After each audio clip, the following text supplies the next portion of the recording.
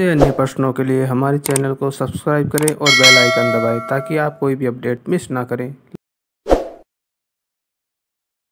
प्रश्न, लाठी श्रृंखला क्या है? उत्तर, लाठी श्रृंखला पश्चिमी राजस्थान में पोखरण से मोहनगढ़ तक पाकिस्तान सीमा के सहारे विस्तृत एक भूभागीय जल की चौड़ी पट्टी है, जहाँ उपयोगी सेवण घास अत्यधिक मात्रा में पाई जाती है।